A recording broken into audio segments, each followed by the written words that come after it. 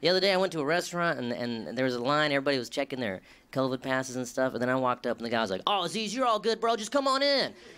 And I was like, "No, no, no, no, no. Please check my pass. Uh, I'm not out here trying to have dinner with Kyrie Irving and Nicki Minaj. I got an extra 10 seconds, please."